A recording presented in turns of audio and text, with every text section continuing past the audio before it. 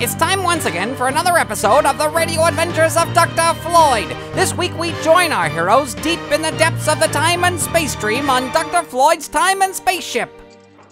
Dear Princess Ori. Hey, gonna- Dr. Floyd, I'm gonna go down to the Saddle River Penny Candy Store. You want me to pick you up some penny candy? Oh, penny candy. You know, in my day, we used to have penny candy, but it used to only cost, well, a penny. Mm-hmm. How much money you got there? Oh, uh, let's see. One, two, three, four.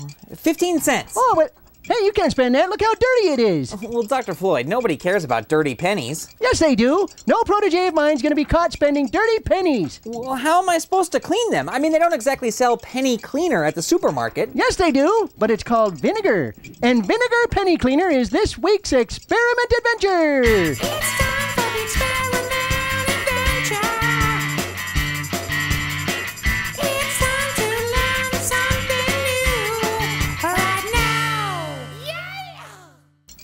Where does that music come from? Never mind, Dr. Grant.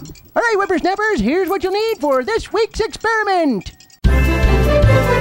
a glass dish, quarter cup of vinegar, one teaspoon of salt. Now let's get started. Okay, first, fill your glass dish with one quarter cup of vinegar. Okay. Now put in one teaspoon of salt and stir it until all the salt dissolves. All right. Now put your pennies into the glass dish.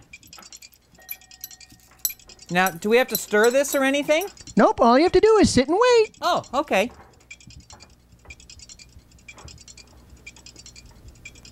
Uh, uh, Dr. Floyd, nothing's happening. Oh, well, you have to wait five minutes. Oh, okay.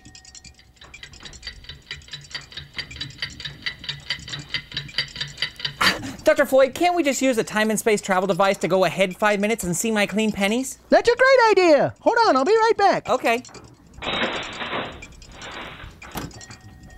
All right, Dr. Grant, hold on. Here we go. Okay.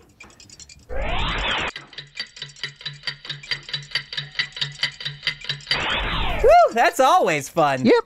Hey, look, my pennies are clean. How'd that happen? Well, your pennies got all dull looking because oxygen in the air combined with the copper to create a dull copper oxide coating. The acid in the vinegar reacted chemically and removed the oxide from the penny, leaving you with nice, shiny pennies. Pennies proper enough for a protege of mine to spend at the penny candy store. Now remember, kids, rinse off the vinegar before you spend your pennies. Golly, thanks, Dr. Floyd. You're welcome. You know, these pennies are way too shiny to be spent. I know just what to do. What's that? These little beauties need to go into my collection. I, uh, but my candy. Candy rot your teeth, Dr. Grant.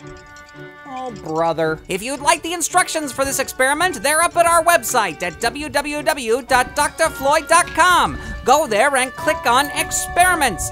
That's www.doctorfloyd.com and click on the link that says experiments. Tune in next time for the next exciting episode of the radio adventures of Dr. Floyd. Give him to me.